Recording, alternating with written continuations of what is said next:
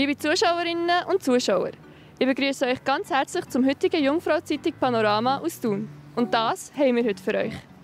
Der Cheftrainer vom FC Thun Berner Oberland nimmt Stellung zu einem nicht ganz guten Start ins 2022. Und die Musikerin Angelika Ott bringt schon gleich ihr erstes Album raus.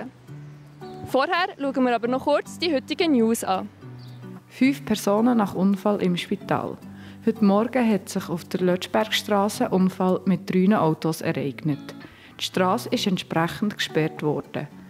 Zurzeit wird noch ermittelt, wie es zum Unfall ist gekommen.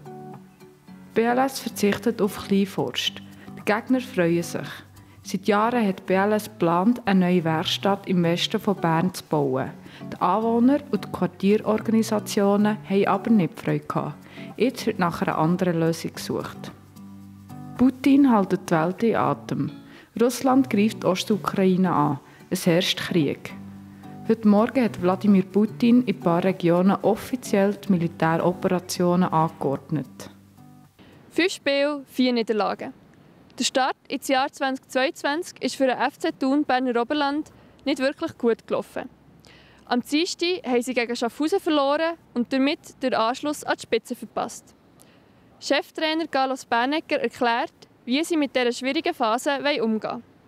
Äh, Carlos Bernecker läuft momentan nicht wie gewünscht. Siehst du das ähnlich? Ja, definitiv. definitiv. Es ist leider äh, äh ergebnismäßig äh, nicht äh, optimal. Äh, und äh, ja, wir müssen, wir müssen so schnell wie möglich raus auf diese Serie, auf diese Niederlage, wo zum Teil nicht nötig sind gewesen, aber es ist halt ein Teil von diesen, von diesen, von diesen Phase, wo wir noch sind, wo unnötige Niederlage kassieren und auf das müssen wir unbedingt jetzt reagieren. Woran glaubst du oder hast du eine Erklärung dafür, dass es jetzt im Moment nicht so läuft?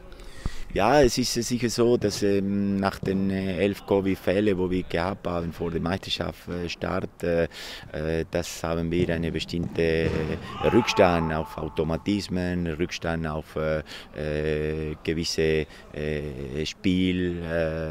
Spielsysteme noch befestigen. Äh, das haben wir gewusst. Wir sind gut gestartet gegen Wiel mit viel äh, Enthusiasmus, äh, versucht das zu kompensieren. Nachher diese drei Niederlagen, die wir jetzt erlitten haben, ist natürlich nicht optimal für das Selbstvertrauen. Und daran müssen wir jetzt arbeiten. Selbstvertrauen, versuchen Basic schaffen und so Schritt für Schritt versuchen noch vorwärts noch kommen. Stimmung im Team ist weiterhin gut oder ist da vom von Krise etwas zu spüren oder nicht?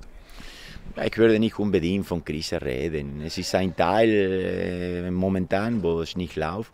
Letzte Saison äh, war, äh, waren wir nicht äh, FC Barcelona und jetzt sind wir nicht der Letzte von den, äh, von den, von, von den ganzen Situationen, sondern wir müssen äh, jetzt cool bleiben, Ruhe bewahren und fokussiert auf das nächste Spiel. Wir haben weniger Zeit.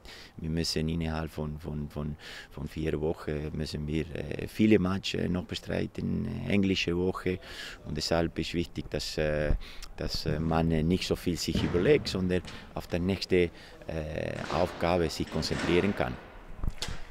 Eine intensive, aber wunderschöne Zeit. Die Angelika Ott bringt schon gleich ihr erstes Album raus. Die Wahloberländerin macht seit rund zwei Jahren eigene Lieder. Die Leidenschaft für die Musik hat sie aber schon ein ganzes Leben lang begleitet.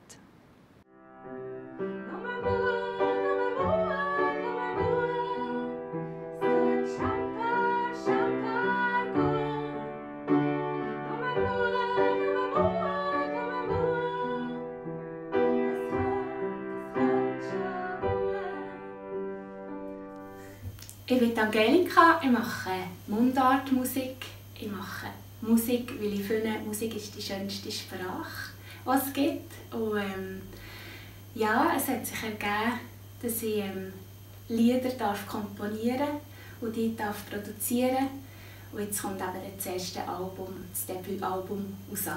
Also ich bin noch Mutter von zwei Söhnen und ich bin auch noch sonst in einem Betrieb tätig, genau Teilzeit. Und es ist natürlich eine Challenge mit der Berufstätigkeit, mit der Familie, die auch wie ein Unternehmen ist, genau. Aber es ist ganz viel Herzblut dabei. Inspirieren, also beim ersten Song war es der Verlust vom Vater, der 2012 verstorben ist. Aber erst Jahre später ist es zu dem ersten Song gekommen. Ein Song über den Niesen, den Berg, der auch drin vorkommt, genau. Und später waren es einfach auch ähm, Inspirationen aus dem Umfeld. Gewesen. Oder auch meine Kinder, die so die Lebendigkeit widerspiegeln, die ja, einfach so im Moment sind, die den Moment geniessen können, wo uns Erwachsenen doch manchmal ein bisschen fehlen. Und sicher auch der Garten. Also ich habe gerne wilde Gärten, ich strebe auch ein bisschen an wilden Garten an. Habe Hühner im Garten, das tut mich einfach sehr inspirieren. So die Idylle schenkt mir dann Inspiration, genau. Sehr. Ich freue mich einfach auch für die Veröffentlichung von diesem Album. Es ist, ähm, ich bin ganz kribbelig. Die Pressung des Albums dauert eben auch noch gerade ein bisschen, drei Wochen. Und ja, es ist so fast wie eine Hochschwangerschaft. genau. Ähm, Auftritte sind auch geplant, genau. Wir haben zwischendurch Anfragen, die wir dürfen. Ich ähm, freue mich auch darauf, auf den Sommer, dass man ein bisschen mehr kann. Genau. Und ähm, ja, ich möchte weiterhin auch Musik produzieren. Ich habe ganz fest Freude am Songwriting, am Komponieren. Und ähm, ja, das ist so ein Prozess, der mir sehr viel gibt. Und ich möchte möglichst auch ähm, das Gesangliche kombinieren mit verschiedenen Instrumenten. Ich habe auch beim einen Lied auf meinem Album zum Beispiel ein Schweizer Örgeli beizogen. Es ist ja der Mundart-Pop, oder? Es ist ja nicht Folk Volksmusik, aber ich finde, die Kombination ist toll, ja. Das war es mit dem heutigen Panorama. Zu den einzelnen Themen findet ihr noch die ausführlichen Artikel auf unserer Homepage oder in unserer App. Jetzt noch das Wetter von unseren Meteo News Kollegen. Merci fürs Zuschauen und bis zum nächsten Mal. Das Wetter wird euch präsentiert von Interlaken Tourismus.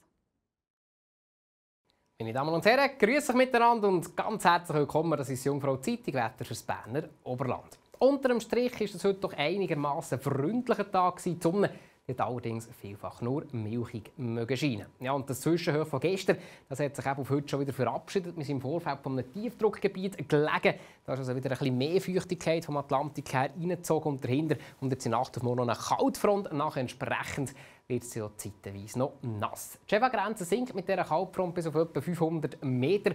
Es kann also nasse Flocken bis auf Talböden geben und dann starten wir morgen zuerst noch mit vielen Wochen. Dann gibt es noch letzte Flocken oder in den tiefsten Lagen Tropfen. Dann gibt es aber eine rasche Wetterbesserung. Es gibt ja auch sonnige Abschnitte. Die Temperaturen die gehen nicht allzu weit. Retour am Thuner und Brienzersee starten wir mit etwa 2 Grad in der Freitags Grindelwald. Da ist es leicht frostig.